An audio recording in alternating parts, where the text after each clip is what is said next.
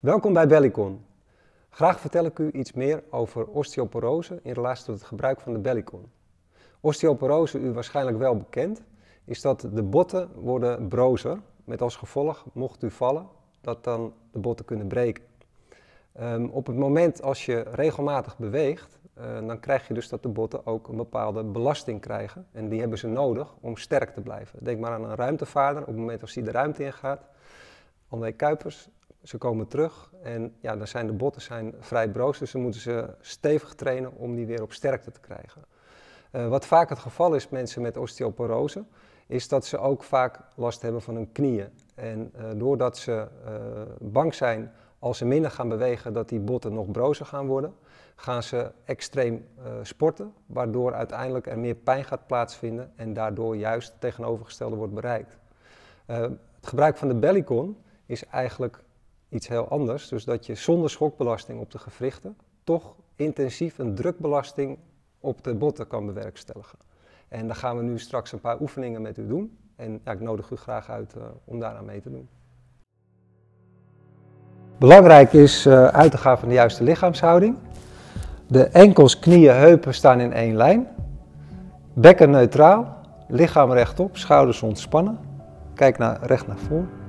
Vanuit hier beginnen heel rustig met veren. Dus is geen schokbelasting op de gewrichten, maar wel een drukbelasting eh, op de botten.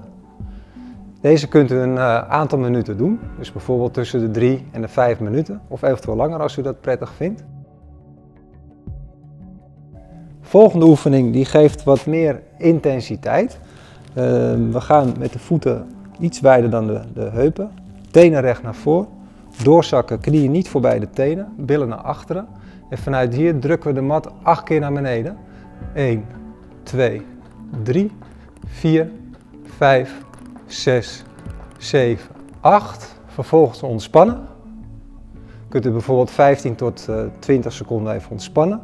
En daarna herhaalt u de oefening nog een keer. Dan de laatste oefening. Dus één voet naar voren, dus zet uw tenen tegen de cirkel.